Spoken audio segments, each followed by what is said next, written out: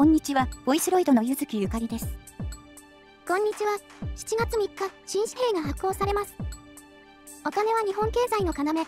一体それはどこで作られているかというと、なんと、我らが静岡県で製造されているのでした。やはり日本の経済を担っているのは静岡だったのだ。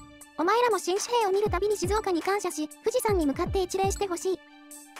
新紙幣のクソダサフォント、なんとかならんかったのか、キズナあかりです。それでは本日のニュースはこちら。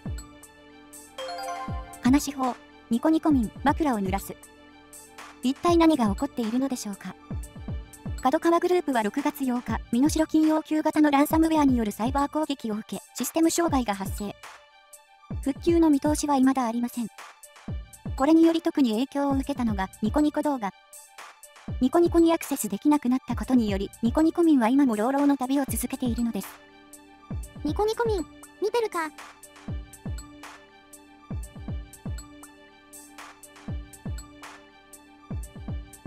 生存確認。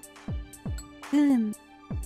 そして6月27日、匿名性の高いダークウェブ上の闇サイトにて、ブラックスーツを名乗るロシア系ハッカー集団が犯行声明を発表。真偽は不明ですが、ハッカー集団は利用者や従業員の個人情報など大量のデータを盗んだと主張。ニコップさん。ランサムウェアに感染した挙句、ユーザーの個人情報を握られるなんて恥ずかしいと思わないのかい？アンチオツ、ニコニコ代表の人がハッカー集団に対し毅然とした交渉をしているから。栗田 COO がハッカー集団に送ったメール。東京五輪に関わる贈賄事件によって創業者ファミリーから逮捕者が出ています今夏には元会長の裁判が始まろうとしています経営陣としては大変厳しい状況ですジャパンで起こったクソみたいな贈賄事件で大変ですなんて泣き落としがハッカー集団に通じると思ってるのか？栗重豊、嘘だよな。現在最も懸念されているのは情報の流出です。すでに、パスポートスキャン、社員 ID 情報、内部契約情報、人事評価、従業員の個人情報、その他内部資料が流出しています。ニコニコ超会議で焼きそば焼かされた挙句、個人情報流出させられるとか従業員かわいそう。焼きそば焼かされたエンジニアはとっくにニコニコを去っただろうからセーフ。そうかな？そうかな？昨年にはこんなキャンペーンもやっており。25歳以下限定、年額プレミアム会員費が最大6600円現金で戻ってくるキャンペーン。このキャンペーンに参加するには、運転免許、マイナンバーカードなど個人情報の塊を提出する必要があった模様。25歳以下のニコ中ピンチだね。ちな投稿者は、20歳の現役 JD かっこピチピチギャルだから年齢制限に引っかかってこれ提出してません。なるほど。20歳の現役 JD では25歳以下のキャンペーンに応募できませんね。まあ不安を煽るのもあれなので補足をしますと。こうした本人確認の書類は3ヶ月で全て削除すると公式で言っているので多分大丈夫です。俺たちのニコニコを信じろ。そしてこちらがハッカー集団の犯行声明と思われるもの。角川の経営陣は一つだけ理解しておくべきことがある。それは今週末までに契約を結ばなければ全てが公開されるということだ。今多くの日本国民の機密事項である生活詳細は角川の経営陣の決断にかかっている。角川の経営陣がこの先数ヶ月を言い訳に屈して過ごしたいとは思わない。角川のような企業にとってはお金を払い前進し続ける方がずっと簡単だろう。全データは7月1日に公開される。テロには絶対に屈しない。負けるなニコニコ。あかりさんはテロとは交渉しない派ですか？だって私ニコニコに流出させられて困る情報ないからね。なるほど。長話を短くまとめると私たちは日本国民に関する非常に個人的な情報にアクセスしましたこれらの人々は自分のプライベートな生活に関するデータを機密に保ちたいと考えておりメールや閲覧履歴などの夜にやっていることが公になることを誰も望んでいませんニコニコはテロリストに金を払えええお前らのせいで何月にもない一般ユーザーの情報がネット上にばらまかされてしまうかもしれないんだぞ。そんなことがあっていいわけないだろ。責任を取れ責任を。今すぐテロリストに金を渡して情報の保全を確保しろ。ユーザー情報を流出させるなんて絶対にやってはならないんだから。さっきまであかりさん、テロに屈するなって言ってたじゃん。私だってニコニコユーザーなんだ。他人事じゃないんだよ。でも、流出させられて困る情報なんてないって言ってたじゃん。け、獣赤面さんだよ。獣赤面さんの正体がバレちゃうかもしれないだろ。特に夜にやっていることが公にバレてしまったら、なぜ夜にやっていることが公になってしまうと獣仮面さんの正体がバレるんだろう。ネット民の反応は、ハッカー、なんでこいつらみんなでゲイビデオ見てるんや。ロシアンハッカー、なんだこれは、たまげたな。いい夢をガチポルの動画と勘違いしてる説続き。やべえ、AI 拓也を入眠 BGM にしてるのがバレる。逆に暴露して世界に LGBT が進んでる国ってことをアピールしてほしい。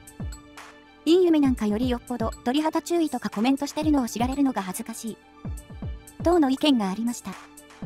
個人的には、先日楽天から普段使ってないとこからアクセスあったよってメールが来て戦々恐々としています。すぐパス変えたけど。皆さんはどう思いますか？よければコメントくださいね定期。以上、ボイスロイドどうでもいいニュースでした。続きましてボイスロイドもっとどうでもいいニュースです。話し法、ニュース、疲れる。これは気持ちよくわかります。ニュースを避ける人が世界中で増加。落ち込むなど理由にウクライナや中東情勢が影響か、日本では2割がニュース疲れという記事が話題です。イギリスオックスフォード大の研究所が47カ国を対象にした調査結果が公表されました。これによると、ニュースを積極的に避けることが時々ある、もしくはよくあると答えた人の割合は39%に上りました。2017年では29%だったので10ポイントも増加してしまったのです。これは長引くウクライナや中東での戦争が影響しているものと思われます。さらにニュースの多さに疲れを感じると答えた人の割合は39%。2019年の28%から増加しています。そして日本では21%がニュース疲れをしていると回答。このニュース疲れの原因の一つとされるのが共感疲労です。共感疲労とは辛い状況にいる人の苦しい気持ちに共感することで気づかぬうちに自分自身の心が疲れている状態を指します。今年元旦に発生した能登半島地震の後テレビや SNS を通じ被災地の状況を見て共感疲労を起こす人が増加。頭痛や吐き気やる気が出なかったり気分が落ち込んだりするといった症状を起こしている方はもしかしたら共感疲労を起こしているのかもしれません。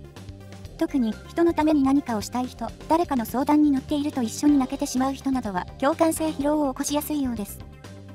対策として、意識的に外に出かけたり、ニュースを見る時間を制限するのがいいようですね。ネット民の反応は、むしろニュースが一番面白い。政治、経済、犯罪、事故、災害、ずっとネガティブ情報だもんな。大谷ハラスメントが辛くてスポーツコーナー見ると気がめいるんよ。ニュースが避けられてるんじゃなく、ニュース番組が避けられてるんじゃね？繊細すぎんか？いちいち落ち込んでるの？